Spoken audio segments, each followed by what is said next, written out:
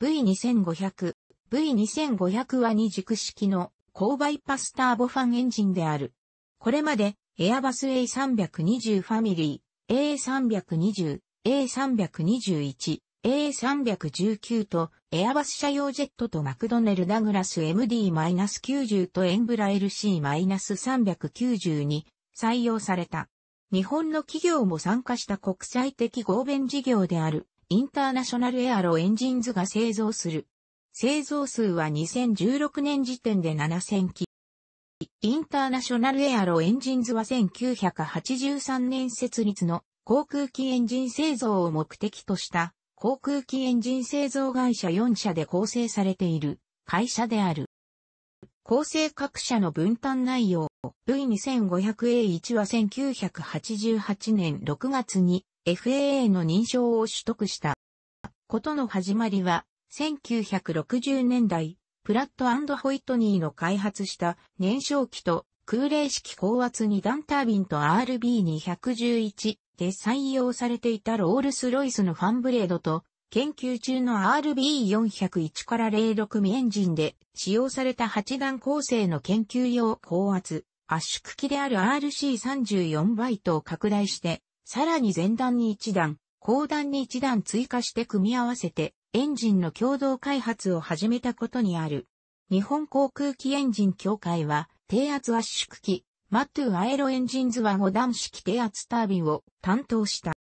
1970年代後半、日本航空機エンジン協会とロールスロイスが独自に水力 89KN の RJ500 をボーイング737向けに2台の試作エンジンの懸垂試験まで進んでいたが、1980年代初頭に中止された。1982年、水力 111KN のエンジンの開発計画が持ち上がったが、一社単独での開発はリスクが大きく、また採算が取れるか疑問であった。当初、RJ500 から35と呼ばれたが、後に、プラットホイットニーとマトゥーとフィアットが加わって、V2500 と呼ばれるようになった。名前の V は当初の5社を表している。2500は水力2500ポンドを意味する。後に、フィアットは離脱した。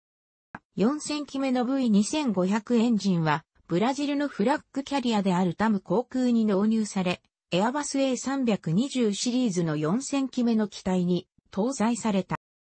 V2500 は RJ500 よりも先進的でファンの直径は拡大されている。軸流式圧縮機の段数を増やすことにより、圧縮比が高められ、より高いバイパス比を得るため低圧タービンが2段、増え全部で5段になった。V2500 の最も注目すべき機能の一つは、エアエパートナーのロールスロイスが提供しているファンブレードである。ロールスロイスによって設計、開発された独特のシュラウドレス、中空ブレードはあらかじめ加工されたチタンの2枚のシートの間に、ハニカム材料の 3D 機械加工されたピースを配置することによって製造されている。高温では、これらの3つの材料片の間に拡散接合が形成され、完成したブレードは事実上単一の中空構造となる。この軽量黄斑ブレードは非常に前縁が強く、異物衝突による損傷に耐えることができ、加えてブレードのワイドコードの性質により滑走路の破片を遠心分離するため、従来の細いブレードと比較して FOD によるバイパスダクトへの人愛の根を4分の1に減少させている。燃焼機にはプラットホイットニーのフロートウォール燃焼器を使用した。この燃焼機ライナは鋳造合金タービンセグメントに取り付けられた板金シェルで構成されており、これらのセグメントはセグメントと外側のシェルの間の冷却空気上に浮遊する。この設計により冷却効果が向上し、応力が除去され、熱伝達を最小化した。また、V2500 は1980年代に設計されたエンジンでありながら、ICAO の NOx 排出基準のシープ4に合致した。セグメントは個別に交換することができ、メンテナンスコストの削減を可能とした。騒音にも考慮が払われており、ワイドコードファンブレードの効果もあって2001年、当時の法定制限を25デシベル下回っている。V2500 は、初期には、エンジン停止後ローターの冷却が均等に行われないため、ローターに曲がりが生じる問題がありファンの再設計が実施され、運用する顧客に提供された。それまで以来は、運用者に対し排気ガス温度の傾向を慎重に監視することによってこの問題は検出可能であるとするアドバイスを行うと同時に、ボアスコープ検査サイクルを50時間に短縮するように進むした。原型機種。1988年6月に FAA の認証を取得した。エアバス A321 から200用。コアの流量を増やすために4段目の小圧弾が基本仕様に導入された。これに伴い、ファン直径、空気流量の増強により水力は33000 LBF に増強されより大型のエアス A321 から200の要求水準を満たした。1996年4月に認証を取得した。複数の後期型がある。ステージ4の低騒音型は、英語として規定されている。2005年10月20日、EI は V2500 セレクトがインジゴより100機の A320 シリーズに搭載するためのエンジンとして選択されたと発表した。後に V2500 セレクト1と称される、このエンジンは性能増強パッケージとアフターマーケットを組み合わせる。2007年12月に認証を取得。2008年9月に本エンジンを搭載した A320 が出荷され、同年10月よりローンチカスタマーであるインジゴにより運用が開始された。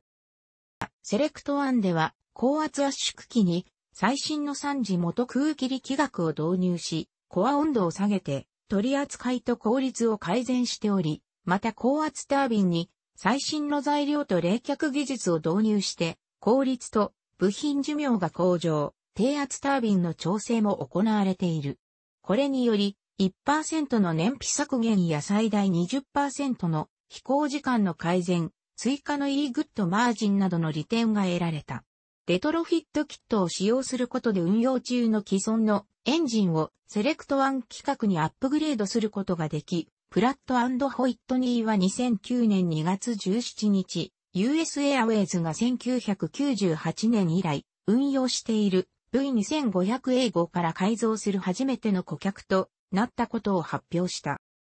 2011年3月14日、イアエは V2500 セレクト1エンジンの更新選択としてセレクト2計画を発表した。これを導入すると A320 が本エンジンを装備して500回離飛行した場合0.58%の燃費改善が見込め、2011年当時の燃料価格で10年間で4.3億ドルの節約が見込めるほか、同年数で二酸化炭素排出量14,800トンの削減が見込めるという。また、ICAO の NOx 基準 CAEP6 に準拠している。セレクト2にはエレクトロニックエンジンコントロール EEC のソフトウェアアップグレードと新しいデータ入力プラグが含まれる。セレクト2はセレクト1の受注オプションとしてご利用でき、ガルフ・エアが A321 に搭載するエンジンとして選択し、最初の顧客となった。